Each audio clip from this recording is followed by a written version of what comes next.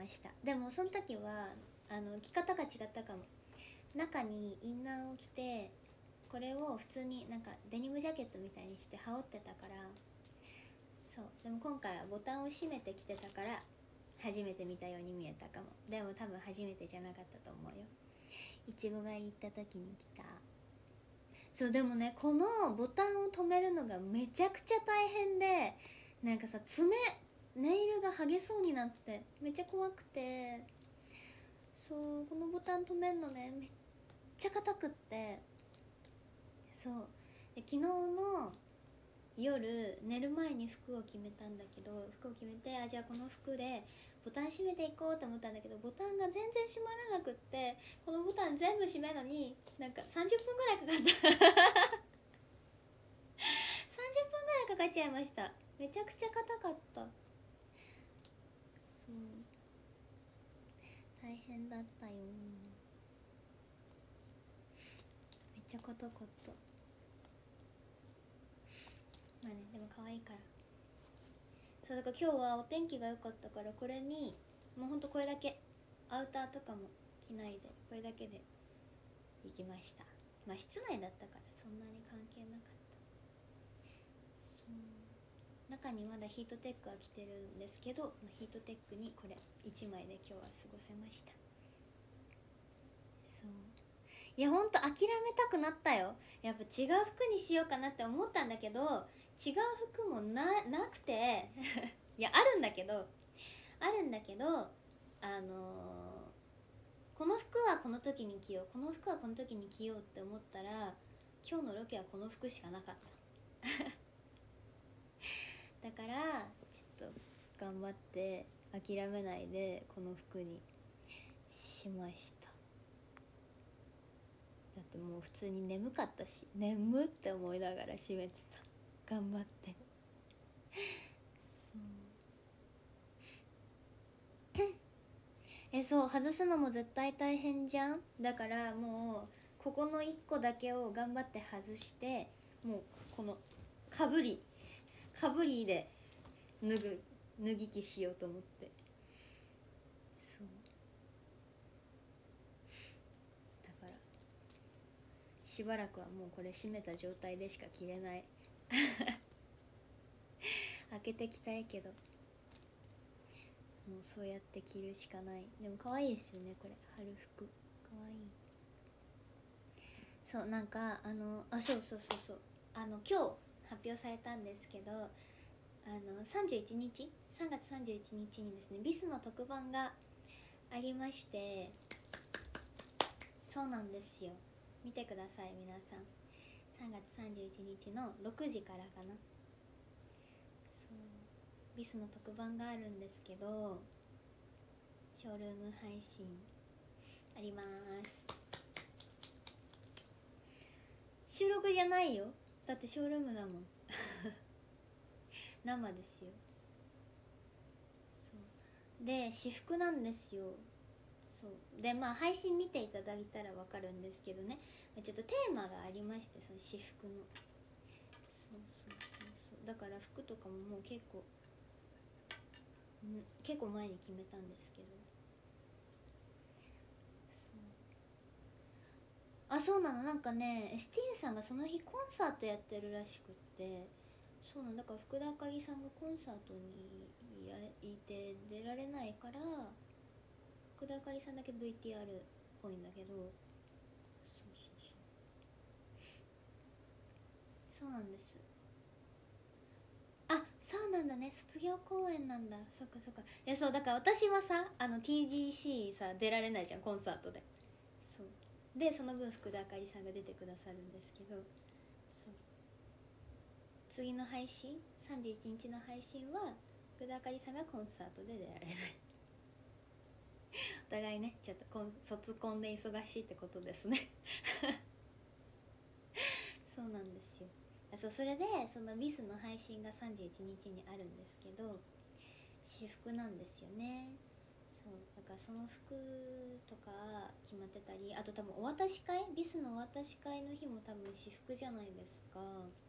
だからそのお渡し会の日もね服どうしようかなと思っていてだからなんかこれはじゃあビスの配信に来てこれは私買いに着ようかなみたいななんか着てない服はいっぱいあるんだけどこの日に着ようかなみたいな風に決めてたりするからそのロケに着ていく服がなくてこれになりました。そうなんです。そうでビスの配信は私服自メイクあのさキャンキャンルームみたいにコーディネートしてもらったりとかメイクしてもらう感じじゃなくてじ自分でやるの自メイク私服。だからそうだからさそうなんですよ。なんかビスビス合わせ？ビスっぽい服にしなきゃ。と思ってめっちゃ探しました。ビスっぽいコーディネートにしなきゃと思って。そう髪の毛もそうなんです。自メイクなんです。だからどうしようかなと思ってて今髪型も。迷い中なんですけど。そう全部自メイクだから、服もメイクも髪の毛も全部自メイクなんですよ次の配信だからどうしようかなと思ってそうだからまあ楽しみにしててください。えめっちゃ楽しみですちなみに。なんかあやぴょんちゃん？初絡み。今までずっとこのなんか配信上のライバル関係でしかなかったから初めて一緒にそうお会いするので楽しみ。ね選抜入りもしてそう次のシングル初選抜らしいので。お話しする。そうだから福田あかりさんとだけね会えないのがちょっとそうなんかさ TGC 私が出れなくなって福田あかりさんが出てくださることになった時にいつかお会いできたらみたいな話してたじゃないですかツイッター上で。そうだからあじゃこの配信でなら会えるかなと思ったら会えなくて。ねすれ違いだからまあフェスとかいつかお会いできたらって感じですけど。だから楽しみです。なんかねいろんな企画があるんです実は。はい。配信の中で。なのでちょっと楽しみにしていただけたらと思います。ドキドキですが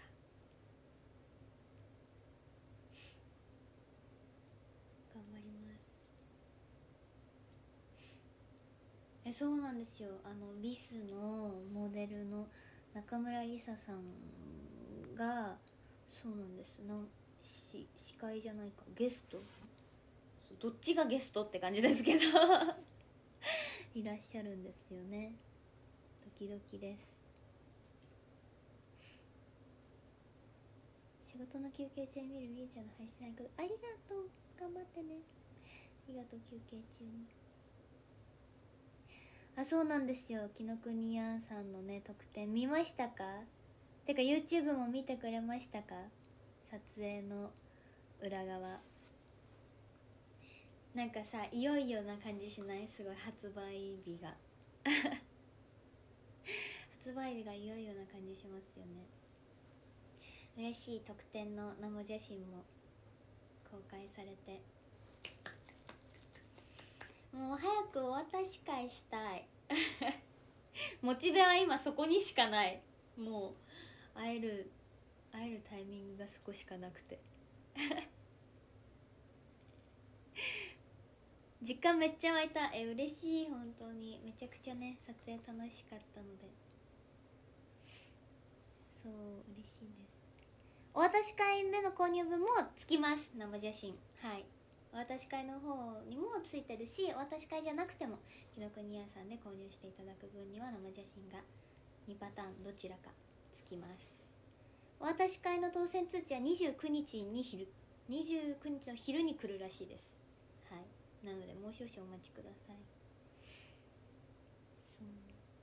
お渡し会でやっとみゆさんとお話し初めてできます。ね嬉しい。今まで劇場でしか会ったことなかったから。嬉しいね。日何回おしゃべりできるか。ねえなんかどういうシステムなのかな。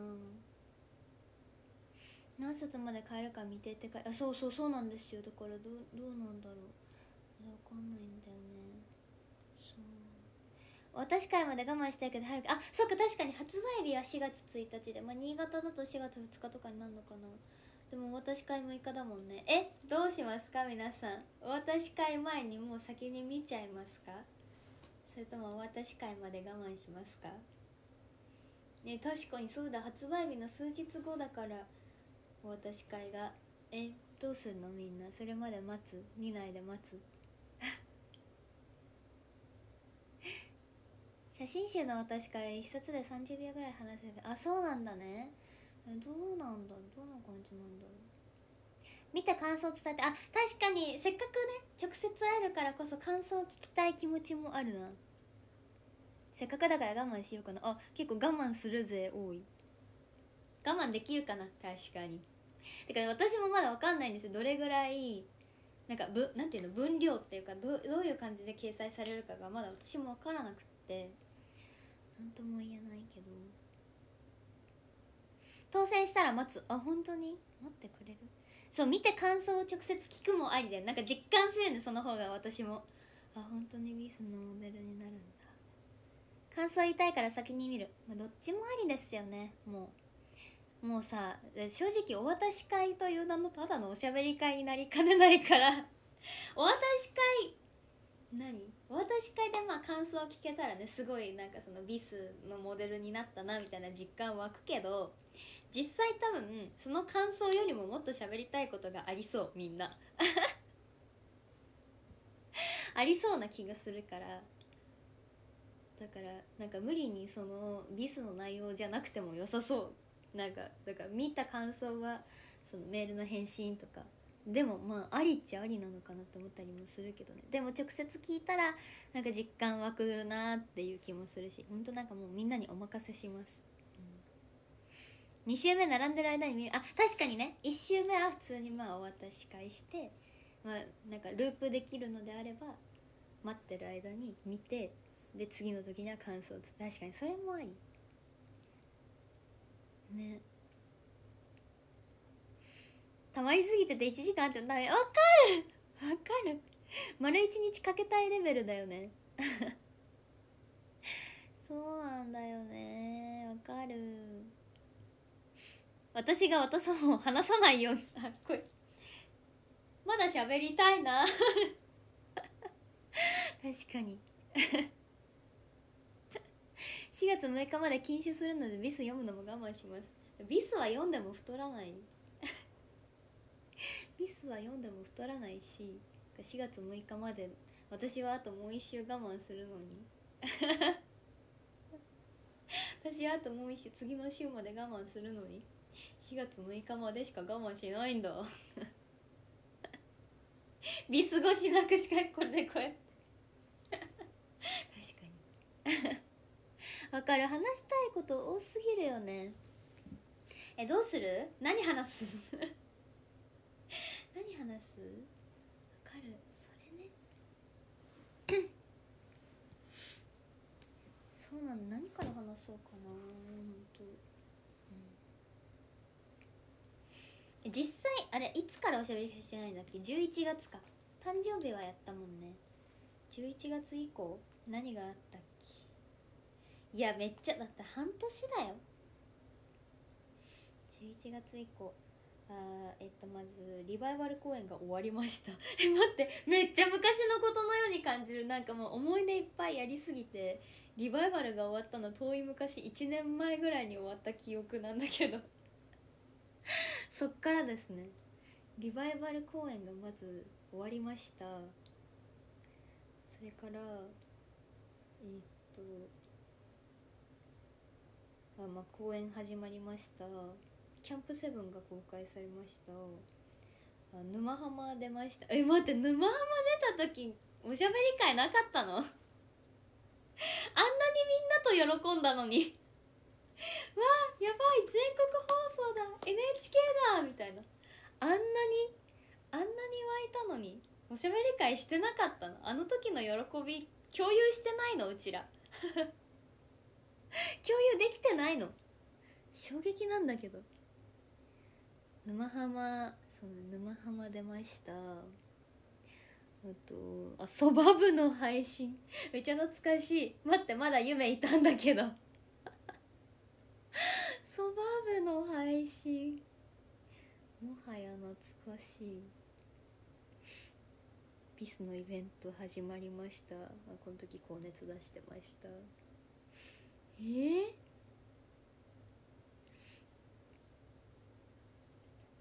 年末ニコ生特番やったわ。やりましたね。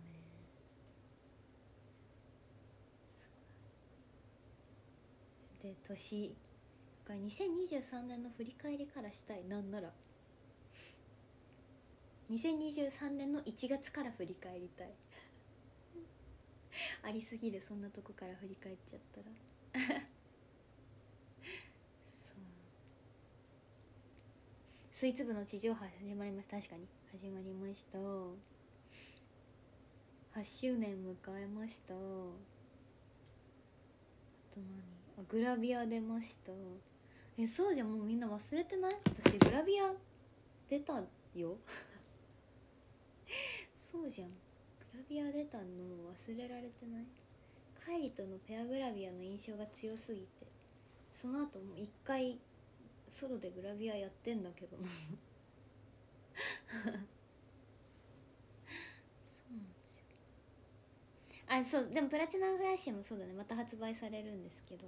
あのなんだっけアザーカット掲載されるやつが28ん？28って明日？発売さそうだよね明日だよね明日発売ですわ。そうだ。アザーカット。カイリとのペアグラビアのアザーカット載ってるプラチナフラッシュは明日発売です。もう忘れてた。そうでしたそうでしたいや待って卒業公演が続いたでしょ？もうなど何から振り返るって感じだね本当に。喋ろうと思ったら。絶対にさビス1冊分じゃ足りない。どう考えたって足りない。絶対にもうビスのレギュラーモデルおめでとうしか言えないじゃんその時間じゃ。いや本当に時間足りなすぎるね。なんかでもその今回ビスのまあレギュラーモデルにまあ決まって4月1日発売じゃないですか。でもなんかその4月1日に発売される分はあの今回のそのビスイベントに参加した子たちがみんな乗ってるじゃないですか。みんなっていうかその上位に入った子たちとかが乗るからそのレギュラーモデルになってもならなくても掲載予定だったじゃないですか。もうその予選通過した時点で。だからなんかそのなんだろうレギュラーモデルになりましたっていう実感としてはまだそこまで湧いてないというか。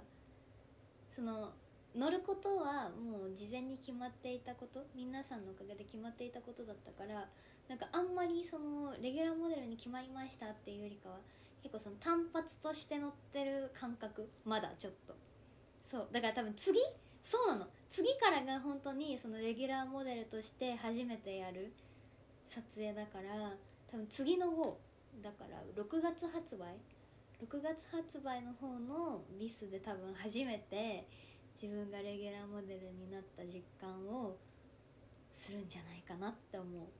だからねまだなんかあんまりそのみんなからレギュラーモデルおめでとうって実は今日もロケで実はお祝いをしていただきましてだから詳細はまあ見たら分かるものなのでちょっとまあまだ内緒にしておきますけどそう今日も実はそのビスのレギュラーモデルになったお祝いをしていただいたんですよ。そうでもなんかねまだそこまでこう実感が湧いてないというかそうでもまあみんなにでもお渡し会で直接お祝いしてもらったらちょっと実感湧くのかな。レギュラーモデルになった。いやでもなんかそれよりも会えることへの嬉しい楽しみの方の気持ちが強いからそれでレギュラーモデルを実感するかって言ったらなんかまだ違う気がするやっぱ次の号の撮影とかそれが発売された時とかが一番実感するのかなって気はしますよね。迷子を私会やってください。いや気持ち的には本当にそうだよね。まあなんかでも今おしゃべり会がないからそう思うのかもね。おしゃべり会があれば別に。まあまあ会えるに越したことはないですけど、まあ毎月やれたら一番いいけど、うんおしゃべり普通におしゃべり会がやりたいってことだよね。そうなんだよね。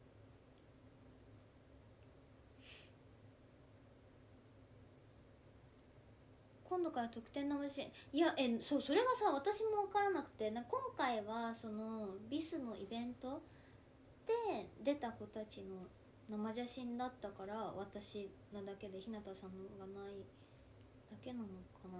次からは例えば日向さんの生写真が2種私の生写真が2種とかになるのかなんかそれか私と日向さんとかなのかどっちかしか出ないのかとかなんかまだ何にも知らなくて今回はでも全全グループっていうかその全国のグループ共通でそのビスのイベントに出た子たちのが特定の生写真になってるから私なのかなって勝手に思ったけどわかんないんだよね。なんか次からどうなるかはまだ何にも。うん。どういう感じなのか。わかんないんですけど。これから楽しみが1年間あると思う。ねえそうなの。なまあ2ヶ月に1回の発売ではあるけどにしたってね。2ヶ月に1回必ず出るわけじゃないですか。ね楽しみすごい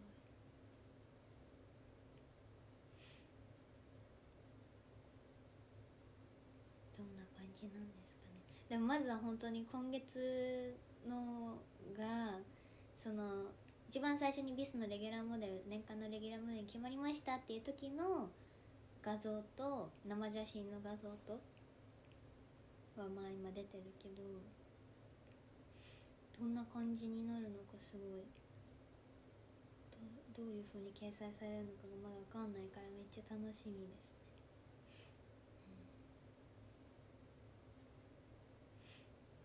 そうなんか昨日はあの昨日チャットにその撮影風景あちちち昨日 YouTube にビスの YouTube に撮影の裏側風景がアップされてであのマネージャーさんが撮ってくださった動画もチャットの方に載せたんですけどそう。でもあの何？それはさこの撮影してる私が写ってるやつじゃないですか。でもそれじゃなくてあの実際にそのカメラマンさんがカメラで撮ってくださったやつがこうモニターに映し出されてるやつのモニターの動画もあってマネージャーさんが撮ってくださってて。でもだからなんかそもしかしたらその中にさでも本誌に使われてるカットが入ってるかもしれないと思ってちょっとまだそっちの動画は載せられてないんだけど、まあ、本誌見てみてあ使われてない画像だなって思ったらなんか他にこういうカットもあったんだよってなんか載せられたらいいなと思ってます、うん、あそうなんです。ちょっとなんかあぐらかいて見ちゃったりして 私普段絶対に人前であぐらかかないんですけどちょっとあぐらかいて見ちゃったりしてはーい。そうなんですよ。表紙さああれはねただ間違っただけだと思います。だって表紙長濱ねるさんだから。あれは多分ただのミスです。そう今日ママにも言われた。なんか今日ママ誕生日であそう今日ママ誕生日なんです。そうだからお仕事終わりにそのパパとママと3人でご飯にさっき行ってきたんですけどそうさっきママに会って一番最初に言われた「あんた表紙になるの？絶対違うよ」って。でも表紙って書いてあったけど絶対違うと思うよって 言った。多分ね間違っちゃっただけだと思うんだなあれは、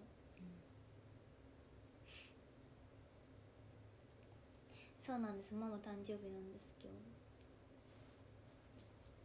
そう妹がさもう一人暮らしが始まってそう妹がもう実家にねいなくなっちゃったからさ私も妹ももう実家から出て行ったんですよ。そうなんです。だからそう今日は今日リハなくて今日はロケともう一個別のお仕事があっただけでリハがなくていつもリハあると8時過ぎとかまでリハがあったりするんだけど今日はリハがなくてしかもそのロケの後のお仕事もめっちゃ巻いて4時4時前、まあ、結局ママと会ったのは6時過ぎとかなんだけど4時くらいに終わったからそう。だからせっかくママ今日誕生日だしご飯行く予定があればご飯行くかなって思ってそうママに連絡してご飯に行ってきたんだけどそうなんですよあねそうわかる。マリナさんのお母さんも今日同じお誕生日らしいっていう会話を絶対に毎年してると思う。絶対に多分お互い毎年ししてるされてると思う。うん私がなんか SNS とか何かで「今日ママの誕生日なんです」って言うと絶対誰かが「マリナさんのお母さんも誕生日だよ」っていう会話を絶対に1年に1回してると思う。えルアちゃんのパパもそうなの？それは初めて聞いた。それは初耳でした。じゃあ来年からは絶対それ言われるね。そうなんですよ。すごいね。そうなんだ。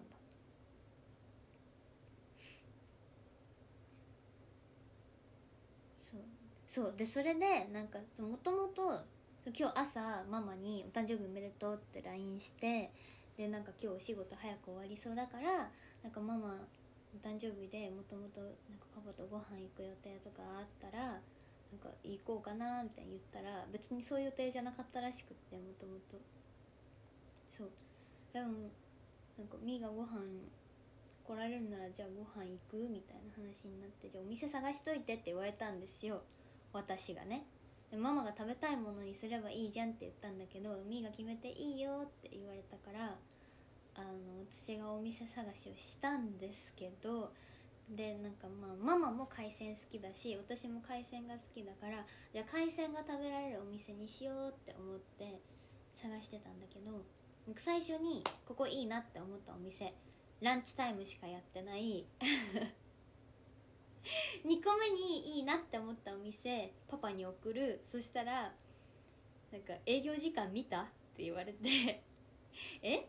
さっきの一番最初に調べた店はランチタイムしかやってなかったけどここは大丈夫だったよって思って見たら5時までで 弱ってるやないかいってなって違う店探す。で次ここはどうだと思って送ったら 定休日だよってパパに帰ってきて。そんなことある？って感じじゃない ?3 店舗探したんですよ。店舗探して3店舗全部やってなくて。わざとじゃないんだけどね。なんか海鮮食べられるお店で探してたらなぜかみんなすやってなくて。夜。ね海鮮海鮮丼が食べたかったんですよ。海鮮丼が食べたくって探してたんだけど全部やってなくてそうそうなんですよそうでも最終的に古町まで行きました。古町の海鮮丼食べてきました。そえそんなことあるって感じで本当になんなんでこんなにも定休日をさ引き当てるんだろうって。しかも自分でちゃんと調べてんですよ。ちゃんと調べてあここは今日定休日だなって。え違う。しかもその他にもう一個違う店調べた。もう一個海鮮丼のなんか思い当たるお店があって調べたんだけどそこも水曜日定休日ででもそれは自分で気づいたの。あだからパパに送らなくて。そう。でだからここはどうかなって思ったお店をちゃんと自分で調べてからパパに送ってんのにパパに定休日だよとかやってないよって。ええみたいな。だからなんか最終的に多分5店舗ぐらい振られてる。ちゃんとね自分で調べてるはずなのにね。なぜかちょっと調べきれてないところも変なんだけど。となんでなんだろうね。まあでも最終的には美味しい海鮮丼にありつけてよかったんですけど。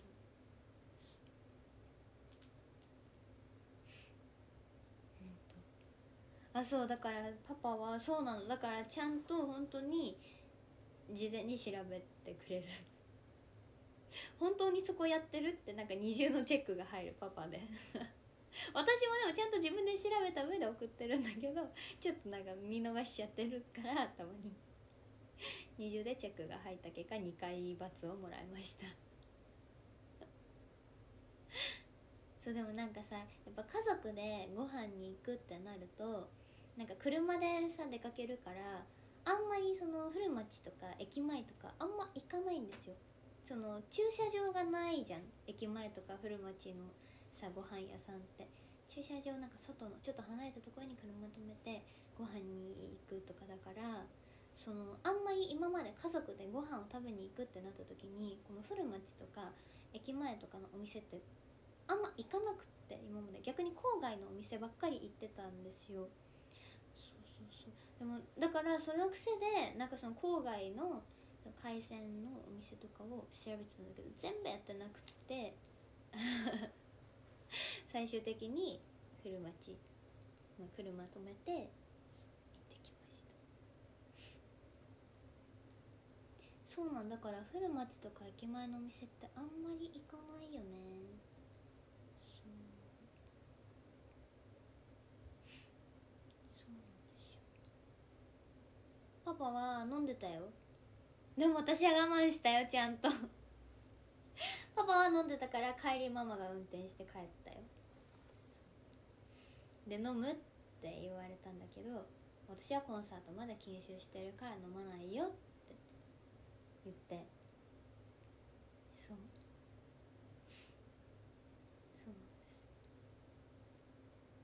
ででもなんかその海鮮丼海鮮丼のお店に行ったんだけど海鮮丼を食べてでも海鮮丼さ作るのちょっと時間かかりますよって言われてなんかそのすぐ出る系のものなんか一品料理みたいなやつ頼む？みたいになってまあ結局頼んだんだけどそのどうする？みたいな時にまあでも飲むの俺しかいないしなってパパがちょっと寂しそうに言ったんですよ。そうだからさ酒のつまみみたいななんかすぐ出る系のものなんか頼まなくていいの？みたいにまあでも飲むの俺だけだからなって言ったからえじゃあ飲もうか？みたいな。なんか自分で禁酒を課してるけどなんかそんなに一緒に飲む相手が欲しそうならと思って。え？別に飲んであげてもいいけどみたいな。え？飲もうか？ってちょっとちょっとなんかウキウキして言ったら止められた。や我慢しなさいよ。ってすいませんね。ちょっと意志が弱いもので。意志が弱いものでなんかそんなに一緒に飲んでほしそうだったら。まあ今日ぐらいいいかなみたいな。今日ぐらい破るかなとか思ったんですけどちょっとパパの方が厳しかったです。全然破らせてもらえませんでしたなのであのウーロン茶はいウーロン茶飲みました私は。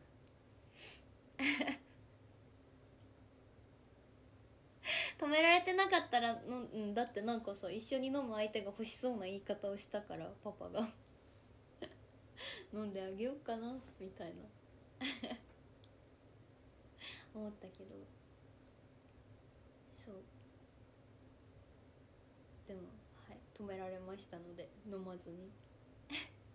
ママはママはお家ではもうたまにお仕事次の日お仕事お休みとかだったら飲むけどでも今日はその帰りママが運転して帰んなきゃいけないから飲まなかった。ママはなんかレモンソーダで我慢。が我慢って我慢っていうほどじゃないけどそんな普段から飲む人じゃないけどそうそうそう。あでもこれレモンサワーの味するわ。言ってレモンソーダ飲んでた。かわいい。わかる？今日の主役ママなのに。そうなんだよね。でもまあお金払ったのはパパだから。でもご飯に誘ったのは私。みんな謎。そうなんだよ。全員がハテナつく 主役なのにお酒飲まない人。主役じゃないのに お酒飲んだ人。ご飯誘ったのにお金払わない人 全員ハテナ。結局いつもの外食。そうなの。そうなんですよ。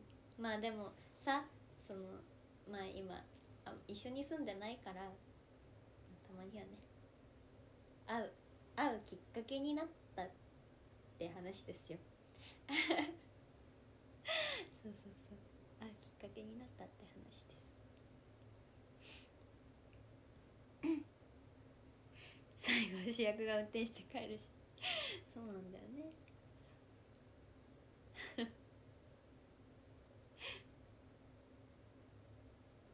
そうなんかでもそれで話してたんだけどそう私の妹がもうさ一人暮らしが始まったんですよ。春から。でなんかでもその前に私が去年から一人暮らし始めてて去年から私が一人暮らし始めた理由はまあいろいろあるんだけどその中の一つになんか妹が次受験生になるから実家で私と妹2人部屋でそうで妹のなんか受験に集中するためなんか2人部屋だからさ私配信とかも今までずっとその部屋でやっててで妹が寝てるそばで配信とかさ夜の11時とかにして妹が寝るの早かったのもあんだけど。妹が寝てるそばで配信とかしてたりしたからなんかその受験勉強のためにもう一人暮らしする。私が一人暮らし家を出ていくみたいな。そういう理由もあったんだけど。そうでもなんかそれで私がその妹が受験生になる1年間の間から人暮らしを始めたことによってなんかでもまあそれのおかげでまあ行こうと思ってた進路に進めたのもあると思うしなんかなんだろうまあでもいっぱいいいことあったよねっていう話をしてて。なんかこれでもし私が一人暮らしをしてなくてずっと実家に住んだままの状態でももしかしたら普通に受験勉強がうまくいってまあ結果的に同じ道に進んだとしてでもそうなるとなんかただ寂しいだけじゃないですか私が。妹は分かんない。やっと一人になれる一人暮らしできるっていう気持ちで出ていくかもしれないけど私はずっと一緒にいたのになんか急にすごい離れたところに行っちゃうみたいな。めちゃくちゃ寂しい気持ちになるじゃないでもまあこの1年なんかその離れる準備じゃないけどさ勝手に先に私が離れてたからそう。だからまあその離れてることには変わりない。そう、まあ、ちょっと距離的には遠くなった。すぐに会える距離ではなくなったけど、まあ、全然もともと離れてたし1年間。っていうそうそうそう。だからなんかそういうのもあるし。から結果的には良かったねみたいな話になって。パパとママはねそう寂しいかもしれないけどそうなんだよね。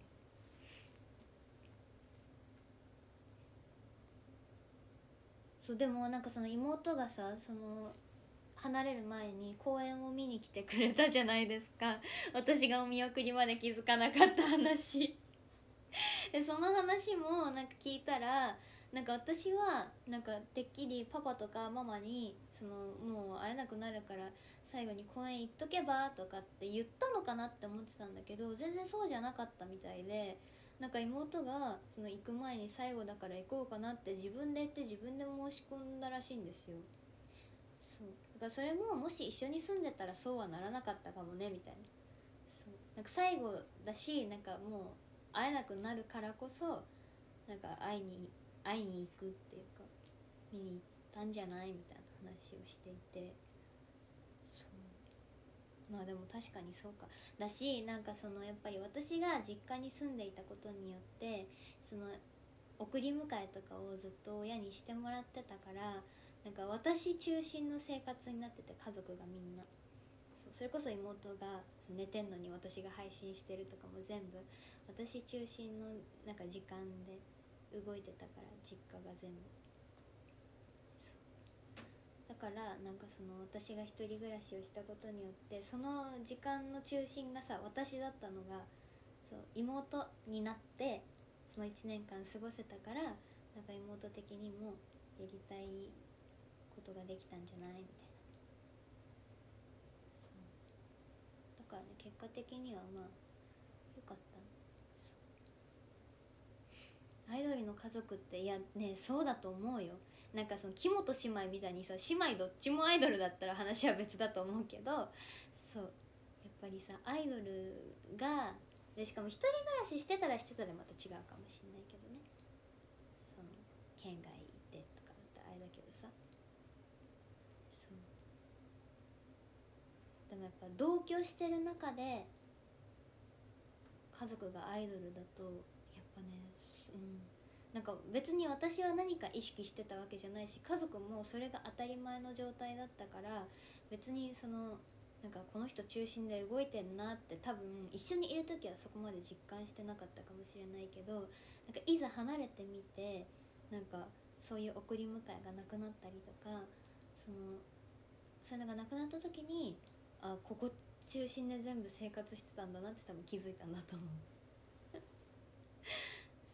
私もなんか全然なんか当たり前のようにそうしてもらっちゃってたから全然気にしてなかったけど多分家族のことを相当拘束してたと思う。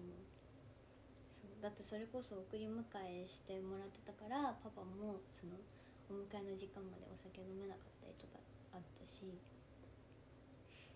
そうでもさこっちはこっちでさお迎え来てもらってたからこそなんか公演終わりの配信とかさみんなでやってたのできなかったしもう迎え来ちゃってるから みんなが公演終わりにさ劇場のとこで配信してるのをさもう迎え来てるからそのまますぐ帰んなきゃいけないみたいなのもあったしこっちはこっちでそう迎え来てもらっちゃってるからこそできなかったこともいっぱいあったから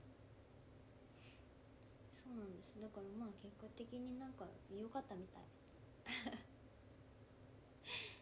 それがなくなるのが寂しいっていうのまああるかも。そう。だしなんかそれが今妹ももう実家にいないからなんかなおさらそれを逆に寂しく感じるかもしれない。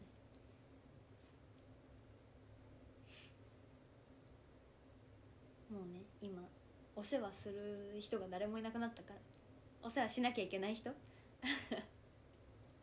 娘が2人いなくなったから。それはねあるかもしれない。逆に寂しいかもしれない、うん、まあでも私はでもねすぐに帰れるから。私はすぐ会えますけど。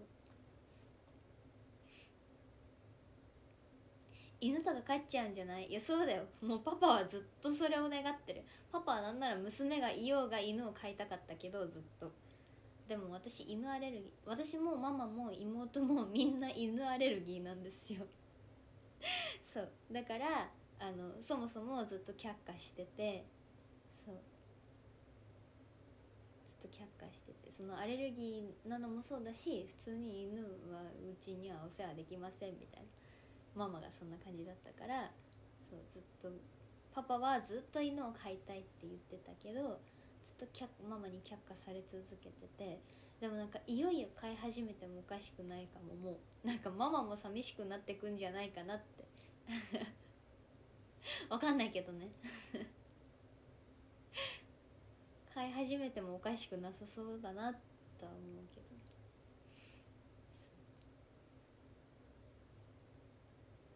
言うこと聞くパパが可愛い。えだから一時期さうちにさあれがいたよ。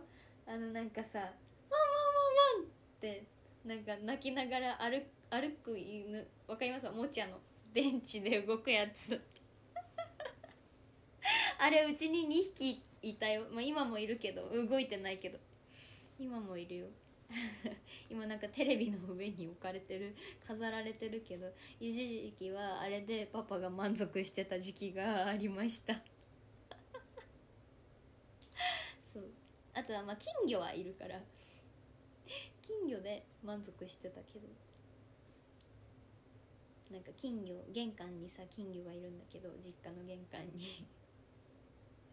そう。なんかいつも毎朝パパが 玄関で。金魚のこの水槽にカタカタカタカタって「金ちゃん!」って。それで満足してたけど。もうねいよいよ犬を飼い始めてもおかしくないと。まあいいんじゃないかないいんじゃないかな犬ね犬はさ好きなんだけどさ触れないんだよね。でも自分家に犬飼ってたら触れるようになるのかな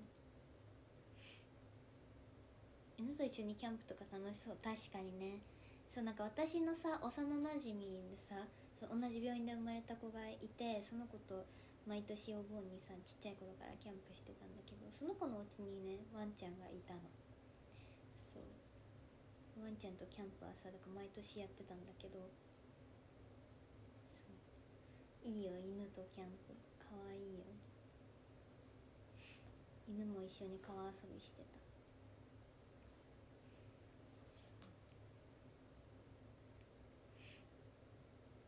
なんかねそう生き物ねなんか人間の子供はいいんだけど 人間の子供はいいんだけどねなんかその動物のさこの抱きかかえた時のさぬくもりが苦手でいなんか生きてる感。なんか手にこうやって抱えた時の心臓の鼓動とかがさダメなんだよね。怖いの。なんか命抱えてる。まあ、人間の赤ちゃん抱えててもそうなんだけどでさ人間の赤ちゃん抱えててもさ心臓のさ何？鼓動は手に伝わってこないじゃないですか。人間の赤ちゃんももちろん生きてるけどなんかその抱いてても鼓動を手に感じるわけではさないじゃん。でもさ動物ってなんかもろにさ心臓の鼓動が手に伝わってくるんですよ。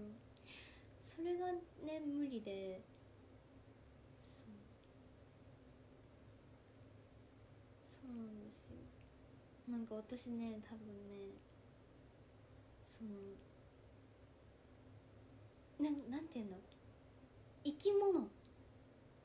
せなんえ難しい。なんか生きてるっていうのを実感しちゃうやつがダメって最近気づいて。なんかだからその抱きかかえた時に心臓の鼓動が伝わってくるのもそうなんだけどあとなんか人のなんか怪我してるところとかなんか傷口とか見んのもゾッとしちゃう。だから看護師とか絶対向いてない。ダメなんだなって思った。最近ねそういうのもすごい苦手だなって思いました。医療系ドラマはでも見れるんだよね。それは大丈夫。大丈夫なんだけど。そうなんです怖いって思っちゃう。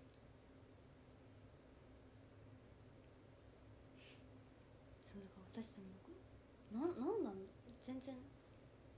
対人は大丈夫だと思ってたんだけど対人でもそういうのがちょっとダメだなって思った、うん、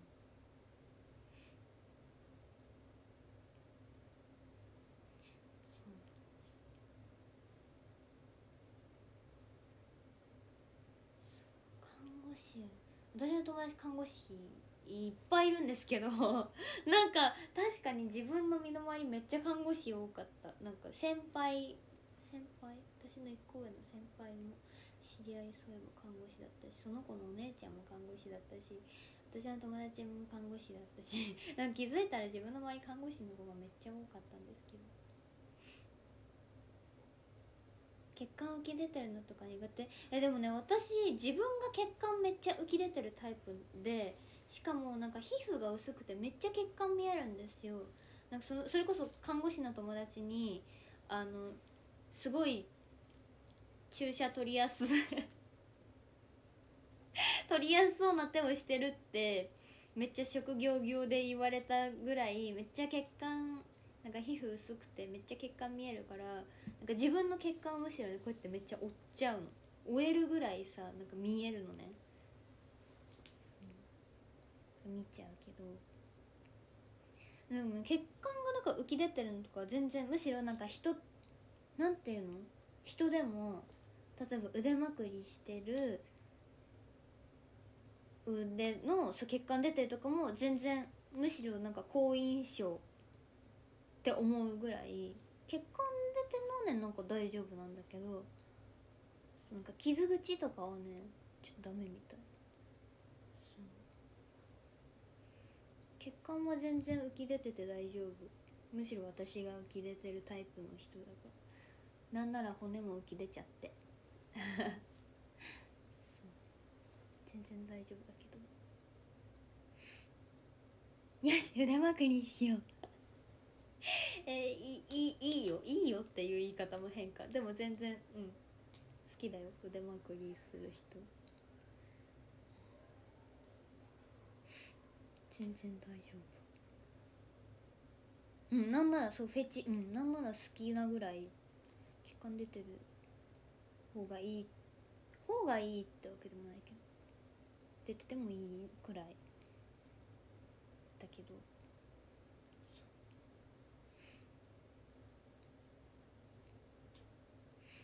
そうなんですよね。みんな腕出したりしてお渡し会全員腕まくり。ちょっと気まずすぎない？そんなに今日暑かったっけ？みたいな。来る人全員腕まくりみたいな。すごい絶対終わった後私あの日絶対に余計なこと言ったわーって思いそう。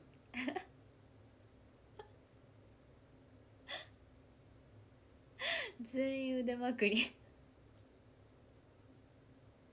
季節的にはえどうだろう？でも4月6日ってまだちょっと寒そうじゃない？どうだろう？タンクトップは無理でしょ。てかタンクトップは別に好きなわけじゃないよ。長袖を腕まくりしてるからいいのであって別にその腕が見たいわけではないしどちらかというとタンクトップだとちょっと逆にあんまり好きじゃないかもしれない。別にタンクトップが好きなわけじゃない。腕まくりしてるからいいのであって。別にあの半袖をこうやってまくってほしいわけでもない。いたよね。なんか運動部とかさ。運動部系男子とか謎に半袖をまくってタンクトップにするタイプの人とかいるよね。別にそういうのが好きなわけじゃないです。そういう趣味思考ではない。そういうわけじゃないですね、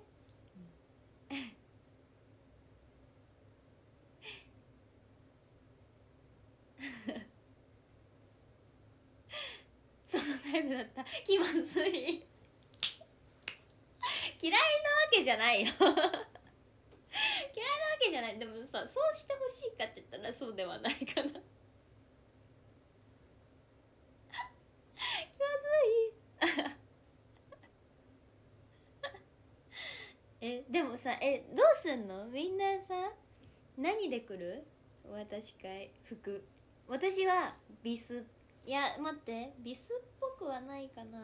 なんだろうまあでも私服です。それはそうだけど。私服でいくよ。私会 私会並んでる最中にもしかして配信あファンの人同士でってこと？あれ？腕まくりしてますけどもしかしてあの日の配信で影響されましたか？聞く側も聞かれる側も恥ずかしくない。それこそ気まずい。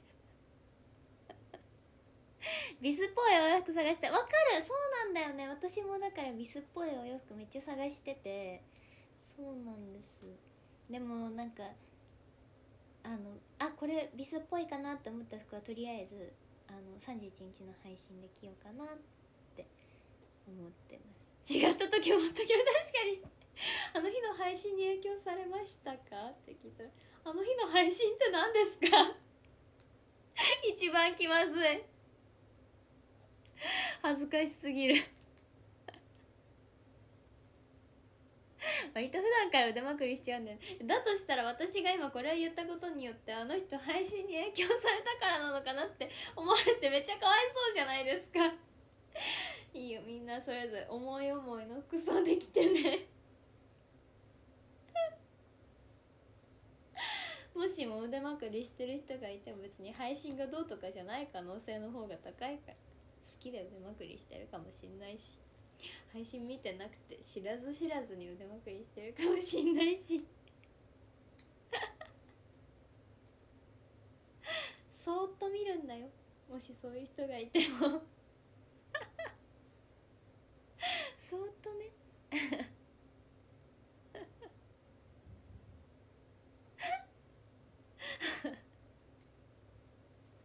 いやでもえどうなの？4月6日って。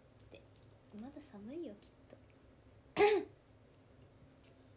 ねみんながどうどうどうする生誕 T シャツ着てくる？全然それでも全然嬉しいけどね、うん、嬉しいけどね。みんなどうするんだろう？なんかあえてさ生誕 T シャツ 生誕 T シャツ着る着てくる方もいらっしゃるかもしれないし逆になんかそのお渡し会だからって気を使って着てこない人もいるかもしれないしなんかみんなどういう服装で来ようと思ってる？桜開花してえそれがさ微妙だよね。なんか桜の開花新潟それこそ4月の頭ぐらいらしくて6日ぐらいらしくてそう6日がねちょうど開花するかしないかぐらいレベルっぽいですよ。ネットで探したいと思ってるけどビスらしい服っておしゃれすぎ。えわかる！そうなの！新潟できたらなんか浮きそうで。そうなんだからあの配信にした。まあ私替えだからいいかなと思ったけど。なのでとりあえず配信にしました。でそのさ服をさ今日さななみとカイに見せたの。あとカホとななみとカイとカホに見せたの。ビスの配信の日この服着るんだって見せたらめっちゃビスっぽい。言われました。だからちょっと楽しみにしてて。ビスの配信。楽しみにしてて。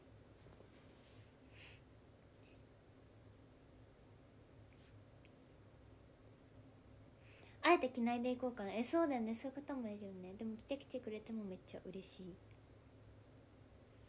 そう本屋さんだからね。そうなのよ。でもさ本屋さんだけどさ私の私会だからさなんか分かりきってるというか。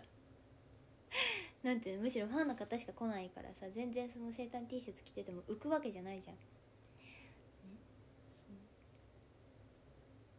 ぶっ飛んだ服装で行こうと思ってます。え？タンクトップ？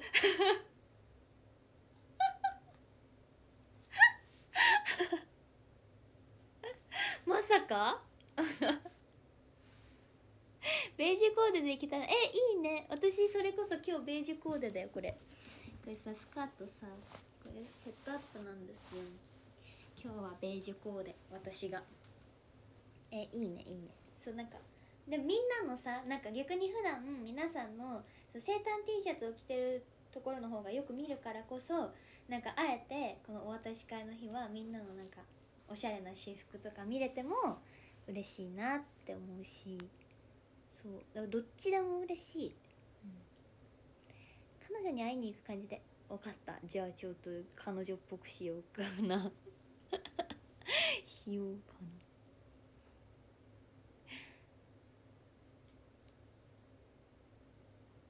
な。アイドルというかモデルさんに会いに行く感じ。あー。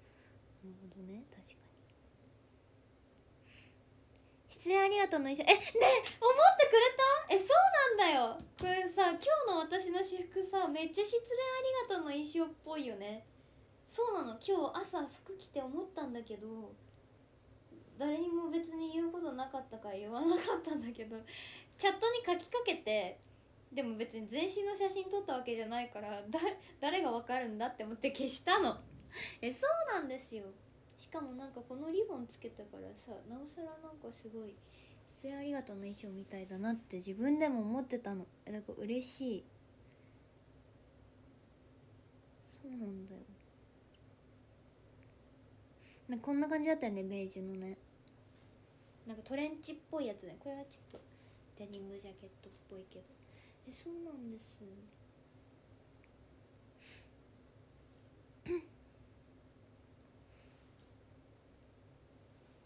今日ねスタッフさんに「よかったよ」って言われた「せありがと。う」私えしかもそれ実はねなんかそれをスタッフさんに言われるちょっと前にチャットを見たら全然違うファンの方がチャットでなんかもうだってさ出演ありがとう日向さんの卒業公演から何日も経ってるのにいやー出演ありがとう。めっちゃ良かったわみたいなコメントが来てて チャットの返信に。そう。なのにその直後にスタッフさんに「よかったよね」って言われて。なんかあれから数日経ってもまだみんなに「よかったよ」って言われてめっちゃ嬉しい。私も本当に実はアウトロめっちゃ間違ってんだけど。DMM ではちょうどその時抜かれてなくて自分が。アウトロ実はねすごい盛大に間違っちゃったんだけどでも DMM 上だと間違ってないようにされていて。そうなんです。めっちゃいいいいよかったよねって自分でも実は思ってた。えそうなの本当にね実はアウトロの最後のなんか回る1回転する振り付けがあるんだけど完全にタイミングを間違って間違って一人だけなんかワンワンテンポどころじゃない2テンポぐらい速いとこで回転しちゃったんだけど でもその後の回転した後のツータタツータタってやってる時にはもう何食わぬ顔でやっててしかもその時に抜かれてたから DM ではまるで間違ってないかのように見えてた。でも実は回転するタイミングをめっちゃ間違っていてこれで見た時にはすごい間違ってたんです。でも DMM ではわからないようになってました。そうでもそうなの。出演ありがとう。めっちゃ良かったと私も思ってたから。嬉しい。そうしかもねなんか面白いのがあのダンスの先生が本番後ろでこうスマホで動画撮ってくださってたんですよ。いつもなんか動画撮ってくださってるんだけどなんかあの日はめっちゃメンバーがさいっぱい出てたじゃないですか。全員出てたからあの画角広めに撮らないとさこう収まらないからなんかちょっといつもよりも高いところにカメラを設置してたんですよ。設置して撮ってたんだけど そしたら「失礼ありがとう」始まってさ私がセンターに出てくるじゃん。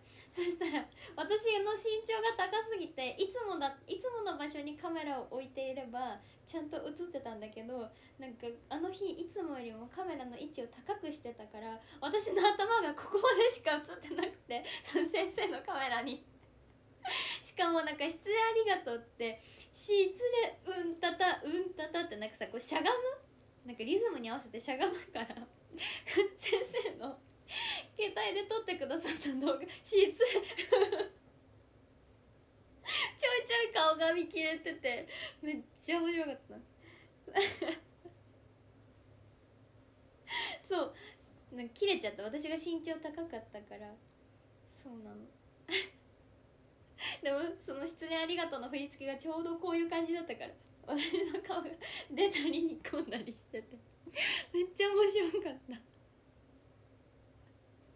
そうで終わった後に先生がなんか「動画動画見せてもらっていいですか?」って行こうと思ったら「ごめんカメラの位置高くつけてたからみゆの頭映んなくなっちゃった」見たらめっちゃ面白いことになってた。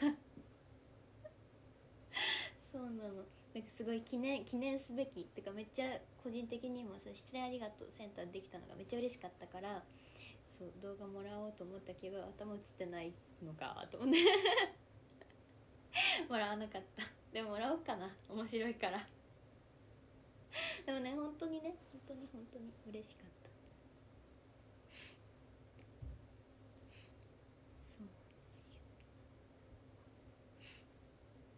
でも「おはよう」なんかさ「おはよう」も私はめっちゃ好きなの「おはよう」なんか2つに分かれてたじゃないですか「失恋ありがとう」と「おはよう」から始まる世界そうでも踊るってなったら多分私は絶対に「失恋ありがとう」だったと思う「おはよう」はあの振りは多分私はあんまり上手に踊れないなんかあれは本当に上手なメンバーが揃ってたからめちゃくちゃ綺麗で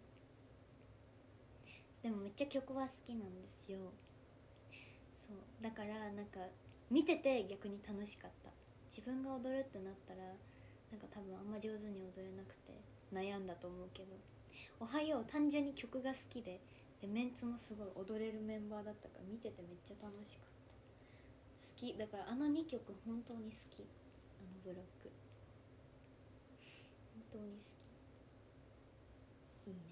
いやでもね卒業コンサートもねいいですよ。はい。いいですよ。だから楽しみにしていてください。そうでも今はその昼コン卒業コンサートのリハは卒業公演の前の週に、まあ、流れとしてはもう全部終わっててあとはこう踊り込みみたいな感じなんですけどで今は春コンの詰めをやってて。春コンもねいいですよ。春コンもねいいですよとっても。はい。すごい楽しみです。だから卒業コンサート昼コンも卒コンもとってもいいんじゃないかなって思うので。なのでねあとはその何曲選曲とか、まあ、瀬取りとかはとってもいいものになっていると思うからあとはそれをねその良さを最大限に出せるようにちょっとパフォーマンスを頑張らないといけないなっていう気持ちですね。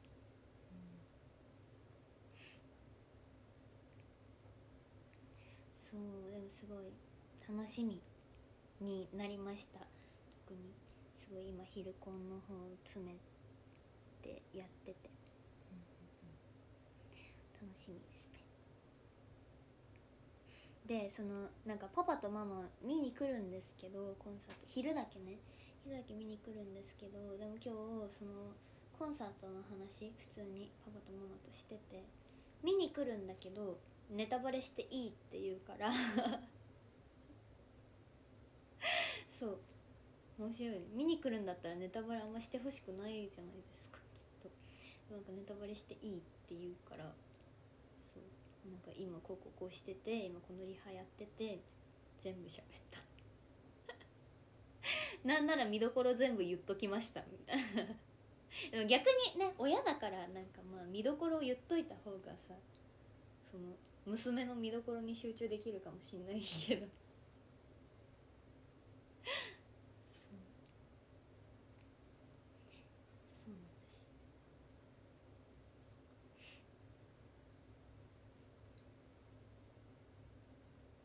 でもねとっても、うん、面白いんじゃないかな。TDC の時は言わなかったの。それな。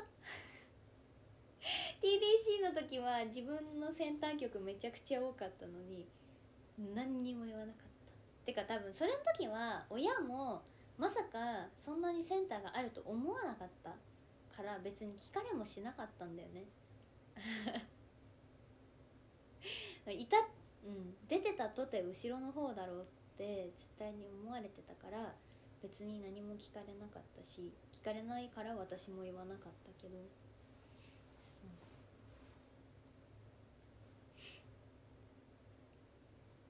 でもまあ今は別にでも瀬戸りを全部言ったわけじゃないよ。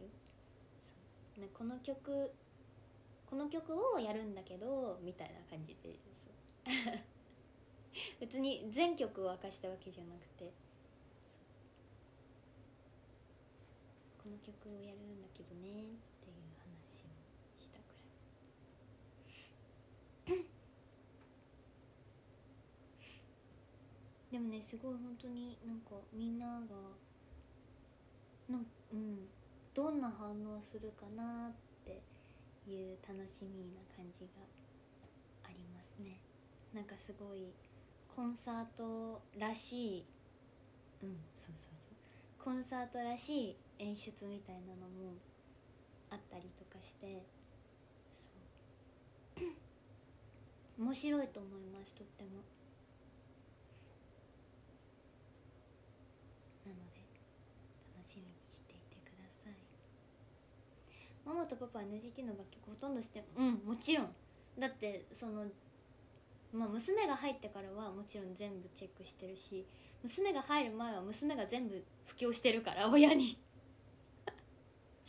あママとパパはちゃんと全曲知ってますよ。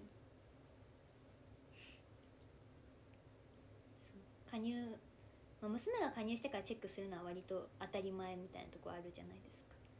加入する前は私が勝手に親にずっと布教していたから全部知ってます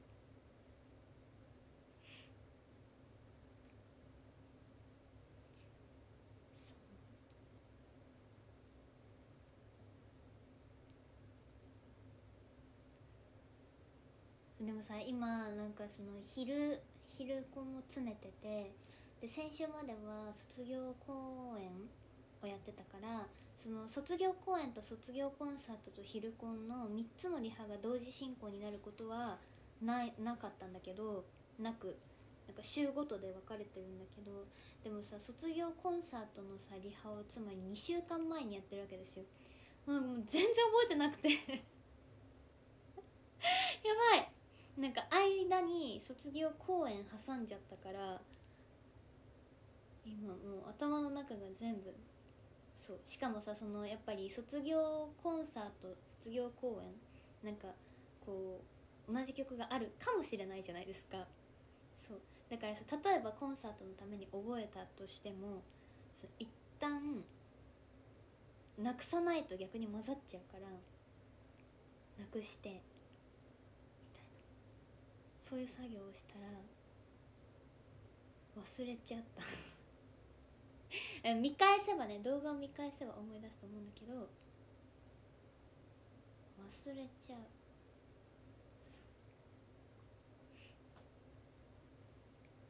だからすごい頑張らないといけない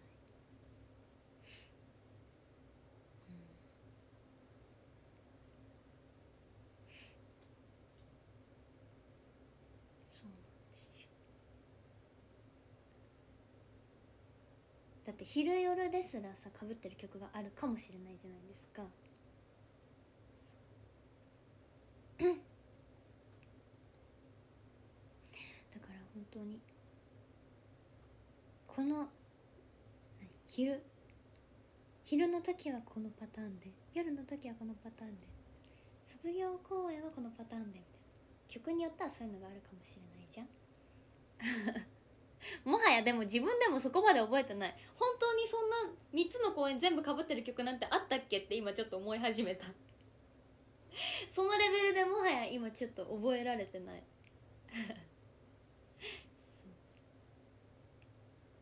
でももしかしたらあるかもしんない。3つ。3つかぶってる曲が。でももはやそこまで覚えてない今やばいですよ本当に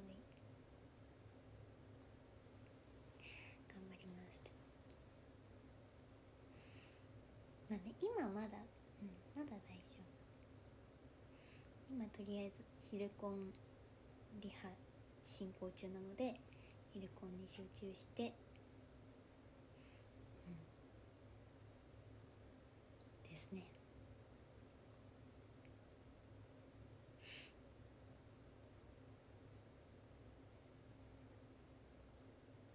いやだからとっても楽しみで。す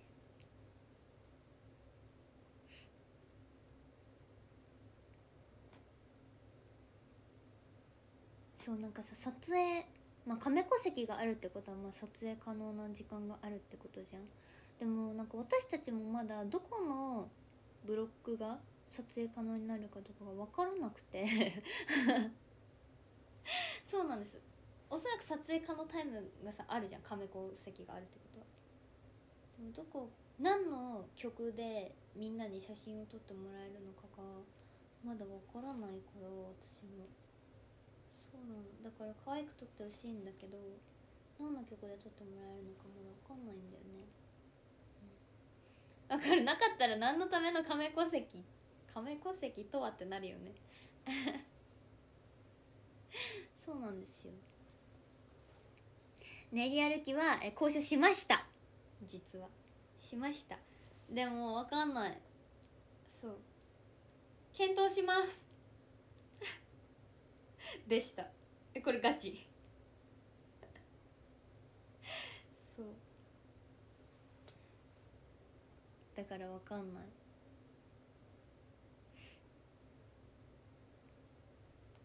でもやりたい。めっちゃ。でももしやるとしたらその練り歩くメンバーはくじ引きね。って言われた。なんかネタか本気かでも分かんなくてその言い方が。そもそも本当に練り歩くのかどうかもなんか検討しますって感じだったしなんかもしそれで本当に練り歩くとってその練り歩くメンバーを本当にくじで決めるのかもなんかわかんない。どこまでが本気かわかんなかった。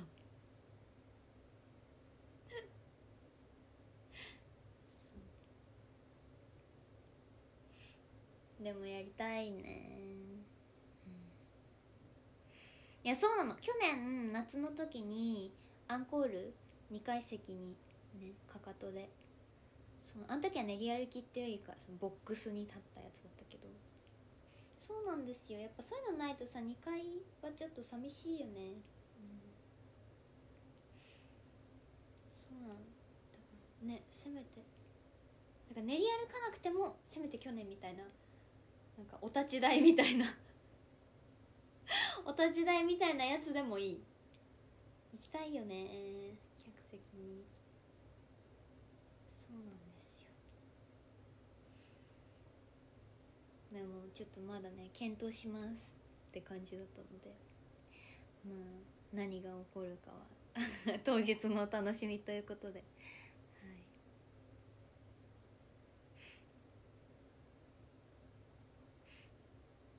楽しみにしててくださいねそうなん2階席。ねでもだからそのなんだろう。練り歩きができるのかできないのかっていうのは本当に多分当日になんない。現時点では本当に私も知らない。でまあ当日にならないと皆さんにはもちろんわからないと思うんですけどまあでもそのあってもなくてもなんかどこの席にいてもちゃんと楽しんでもらえる内容にはしたいなって思っているので、うん、そうなんかさやっぱりそのなんか距離感とかで言ったら全然だって劇場の方が近いじゃん。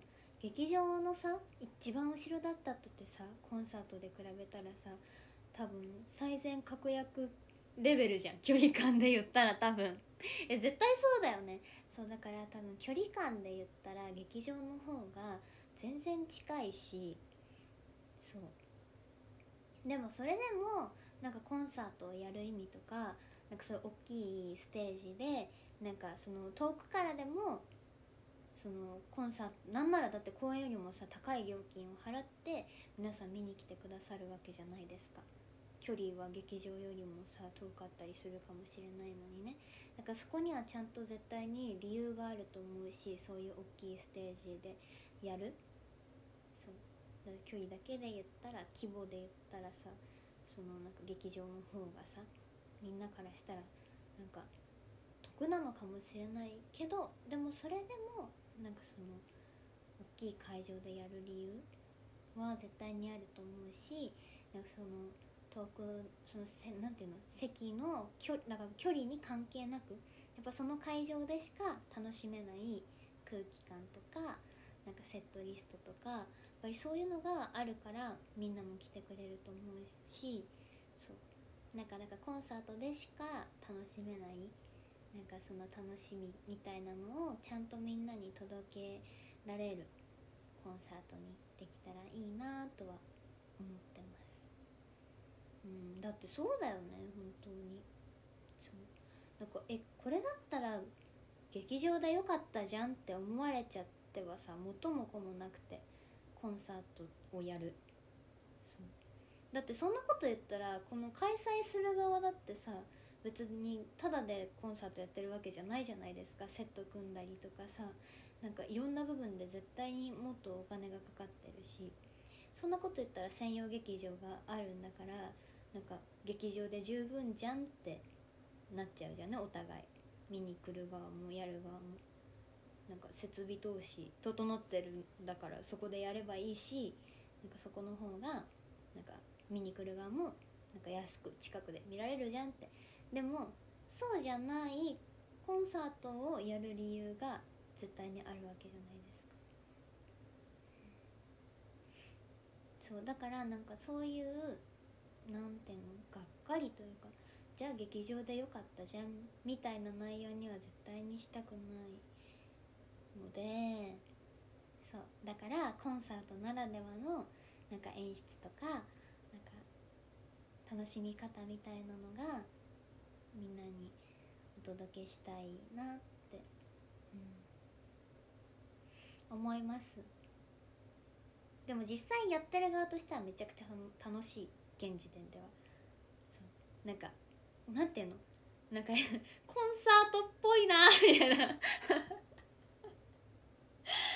サートっぽいなっていうのがあったりとかして。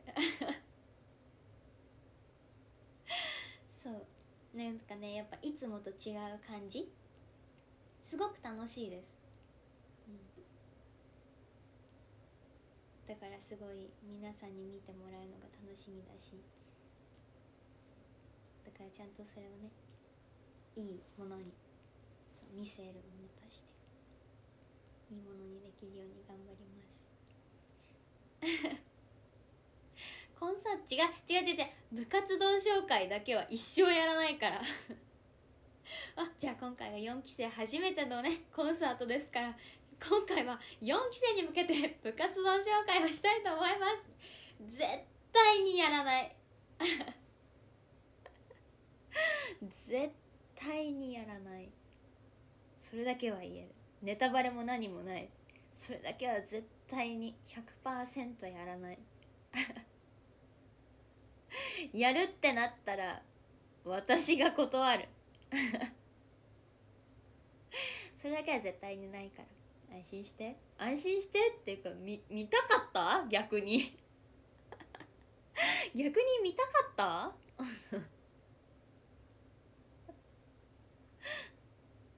いやそうですよね。それはしない。それは100%しないけど。初回は面白かった。リアルな反応それ。リアルな感想。初回はね。でもあれツアーでやることじゃなかったかもしんないよね。毎回。確かに。なんか1回きりのコンサートとかだったらよかったかも。ツアーだったからね。初回は面白かった。それがリアルなね感想だと思います。いやだってやる側もちょっと気づいてた。あこれ毎回やるのかな？みたいな。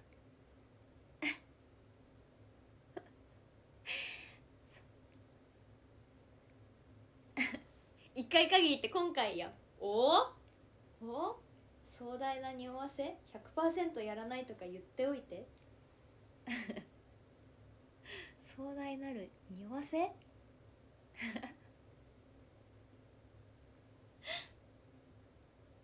でも本当にうん。本当にねでもねすごく新鮮、うん、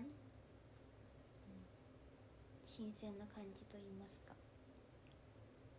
コンサートっぽい、うん、いい意味で。いい意味で。コンサートっぽくなってますすごく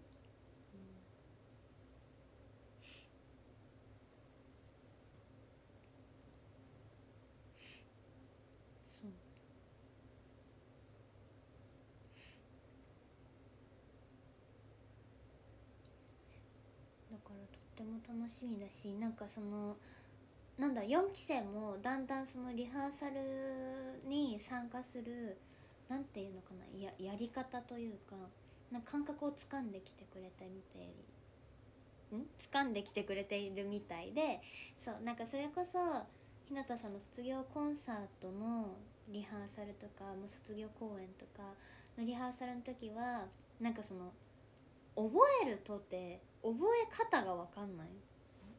というかそう。だから結構その大変そうだったんですけどだんだんすごい慣れてきてくれてその現状春コンのリハは結構いい感じにそうみんなも覚え方をなんか掴んできて進むスピードが結構速くなってったりとかあと3期生がすごく4期生に振りを教えてくれている姿を結構ここ数日で見受けられてそうなんか3期生が先輩してる。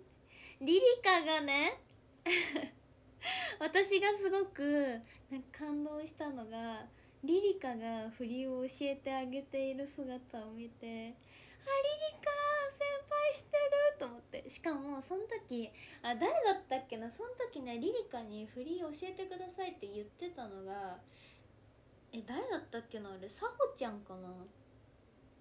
でもリリカよりも年上の子だったんですよ。そう。リリカよりも年上の4期生の子がリリカになんかダンス教えてくださいって言ってて。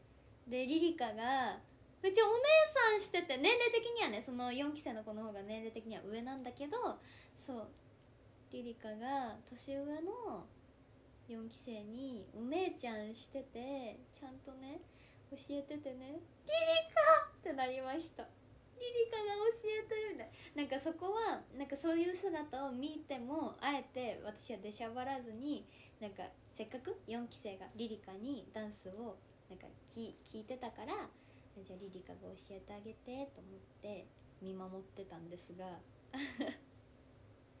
そう、ね、だったら耳も教えてあげればいいじゃんってなるかもしれないけどあえあえてちょっと見守ってみました。リリカがどんな風に先輩するのかなって思って。そうなの。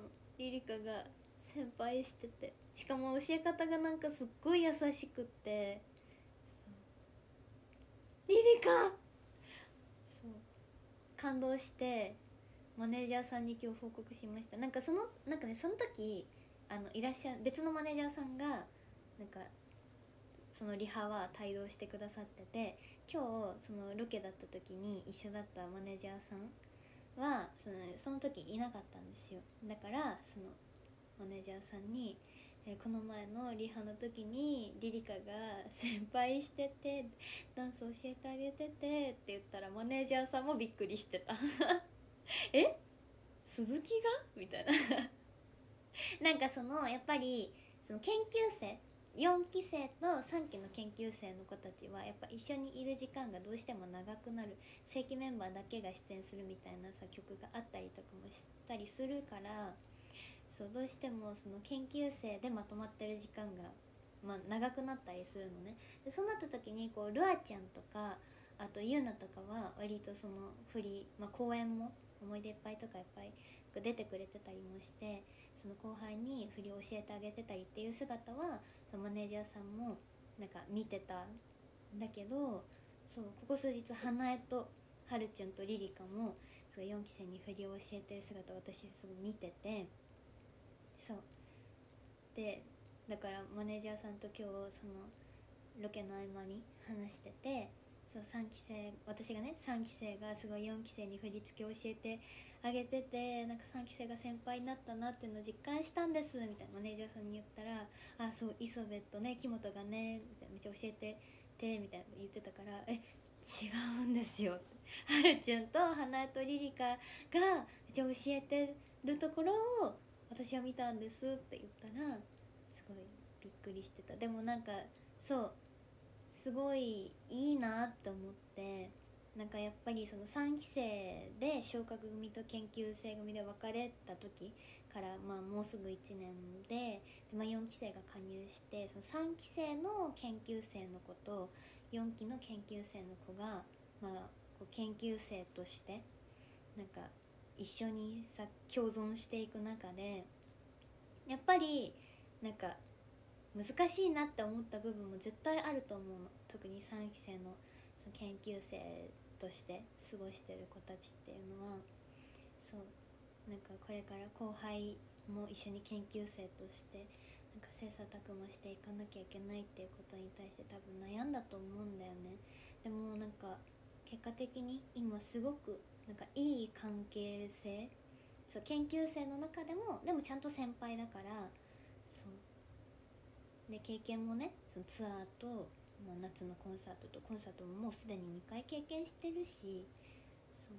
ちゃんとね同じ研究生とでさちゃんと経験値のある子たちだからそう。研究生の中でもちゃんとそう。一緒に教えてって。そう。なんかなんていうの？結果的にはどっちでもいい面なんだけどその研究生の中でも先輩後輩がちゃんとあるからこそなんか教えてあげられるしでもかといって研究生っていう一つのまとまりではあるからなんか4期生もなんかそこに追いつかなきゃいけないっていうかそこになんか合わせられるから結果的にすごい相乗効果でめちゃくちゃ良くなっててそう。そのなんかなんだろうな。私たちがそうだったけどやっぱ自分たちしか研究生がいない時ってなんかめっちゃ後輩ずらしちゃうっていうかむしろ3期生が入ってきた時もまだやっぱり1期生の先輩方が結構まだいたから自分たちに後輩ができてもなんかめちゃくちゃさ後輩ずらしちゃってたのずっと。でもなんか今のその3期生4期生っていい意味でなんか後輩感が薄い。そう。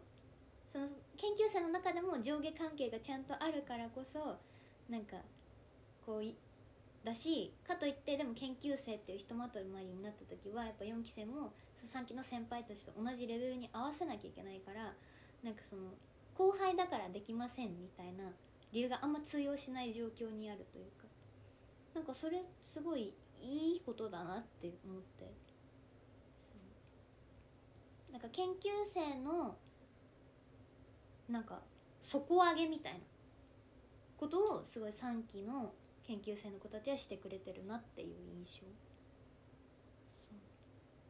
そうなんか自分たち研究生が自分たちしかいなかったらなんかそうはならないじゃん。その底上げしてくれる人もいないしやっぱ先輩は先輩だから先輩ができて当たり前自分たちはできなくてもしょうがないってちょっと思っちゃうんですよね。でもなんかその考えがさできない状況にあるから結果的にすごくいい方向に向いている気がしてなんか多分それぞれでそれぞれの立場で悩んだことは絶対にあると思うんだけどなんかそれをポジティブに変換してなんかいい方向にグループとしてなんか持っていってくれてるのが私はすごいいいことだなと思って。そうなんですよ。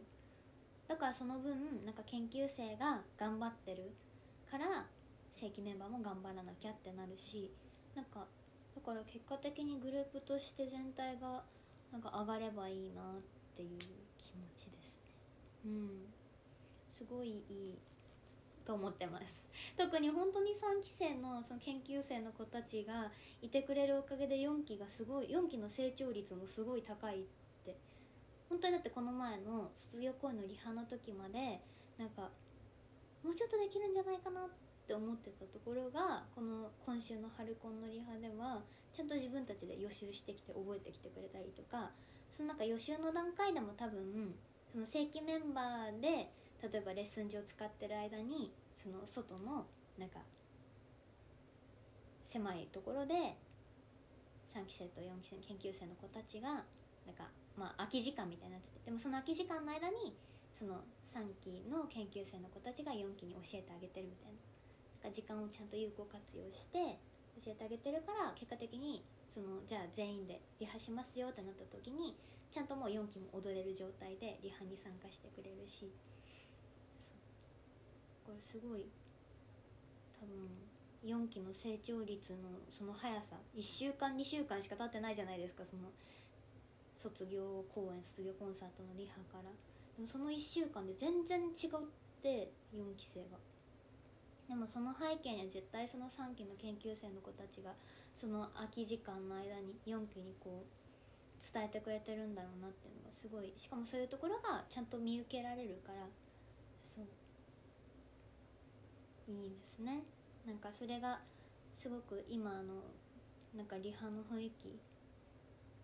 なんかちょっと前のリハ私多分言ったと思うんだけどやっぱ4期生のリハのペースに合わせちゃうとなんか先輩たちはなんかその時間もったいないって感じちゃうしでもかといって先輩たちのペースに合わせても4期がついてこられないのは当たり前だからなんかそのなんていうのなんかそこでちょっと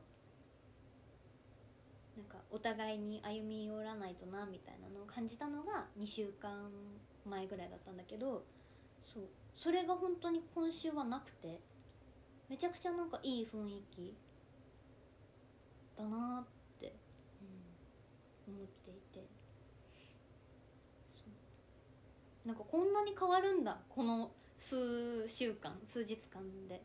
こんなに変わるんだと思ってそう。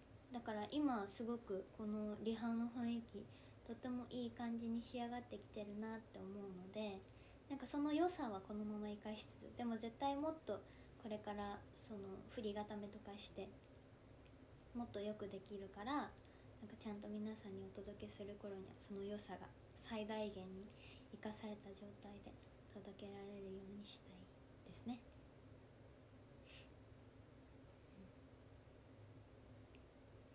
ね本当にだからそう楽しみにしていてほしいしなんか逆にこの現状リハのなんか進捗状況というかまさすがに瀬戸りとかは言えないけどでもその進捗状況をこう逆に言っておいた方がなんかこう皆さんの期待値をこう高めることによって私たちのハードルも上がっていくみたいな。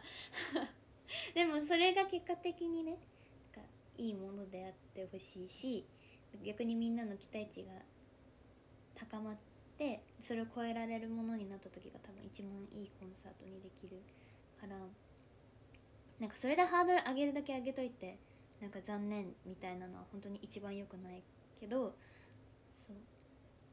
でも言って自分たちを追い詰めてなんかちゃんとハードル上げておいてそれを超えていくは絶対にいいコンサートにできるから、うん。ちょっとまあ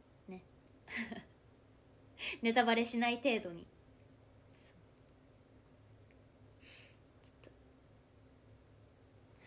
ネタバレしない程度にあの皆さんになんか何？リハの状況 シェアできたらなって 思います、はい、えー、頑張るね本当に。本当に。なんかみんながこれを見てどう感じるかなっていうのがなんか今は結構率直な感想リハ通してみて、うん。どう感じるかなって感じだけどでもそれをなんかでもそれはねどなんて言うんだろう。いい意味でもいや悪い意味でもっていうかそのななんて言うんだろう。考え方次第みたいな。考え方次第。考え方にとってはすごいおなるほどねってなるかもしれないし。なんか、うん、いい意味でこう期待を裏切るみたいな。そう。そうでもそれが結構なんて言うんだろうな。今はなんかえ難しい。考え方が半々に分かれちゃうというかそう。でもなんかちゃんとそれを完成形にしてみんなになんかお届けすればなんかそれを示すじゃないけどなんかこうそれが正解になるというかそう。な気がするので。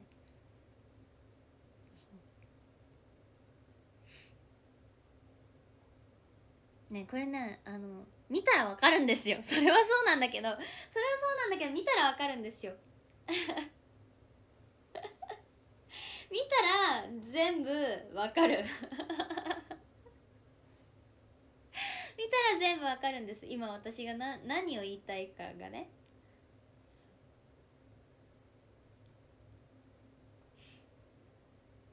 そうなんだけどだから実際私も最初そういう風になりますよってなった時にだ結構そういう感じだったの。なんだけどなんかそのやっていくうちにそれが正解になっていく感じ。作っていく上で。そう。私の気持ち的には結構そういう感じなんですよ。今回のコンサート。そう。でもなでもなんかその皆さんにはもうそれが完成形でお届けするから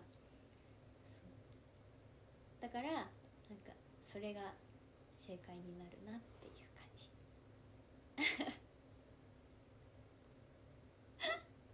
いやうん。見たら絶対にわかるの。そう。だからえそうでしょ？だからえじゃあそれはどういう意味？ってなるじゃないですか？今みんなの中できっと。見たら絶対にわかります。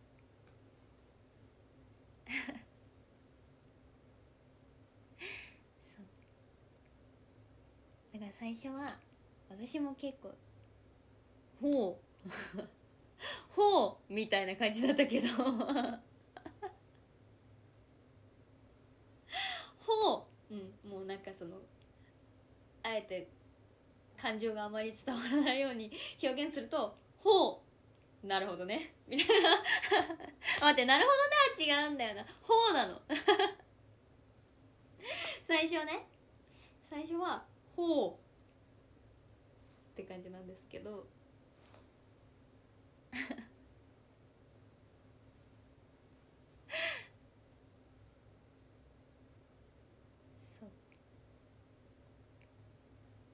でもねすごいやっていくうちにすごい楽しい、う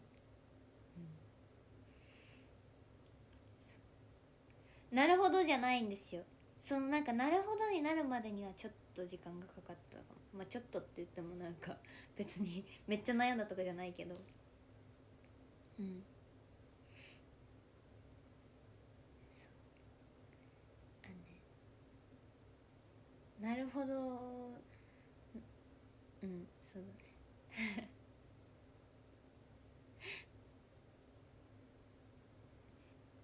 えなんて言ったらいいのかな。今回はこうこういうこここういう感じです。ほう。でちょっと経ってかちょっと考えてまあ一日半日一日くらい。なるほどね。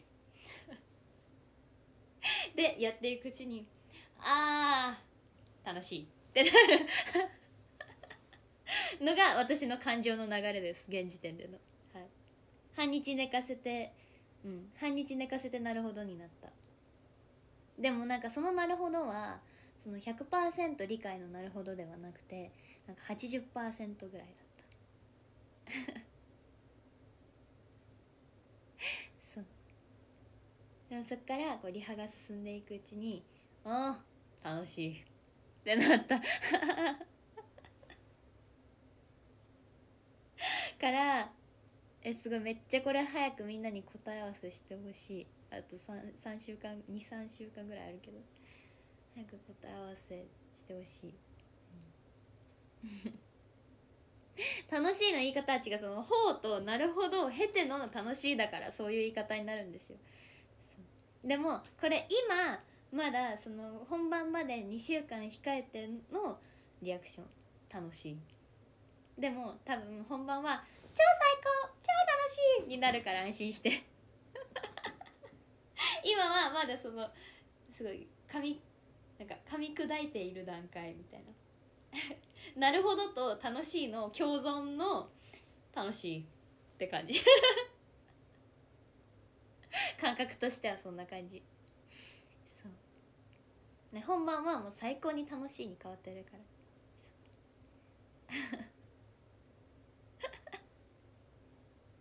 これねでも本当に多分見たら絶対にわかる。もうだからみんな今覚えといて。私のこの今のリアクション。私の今のこのリアクション絶対に覚えておいてね。見たら絶対にこれ全てを理解すると思うから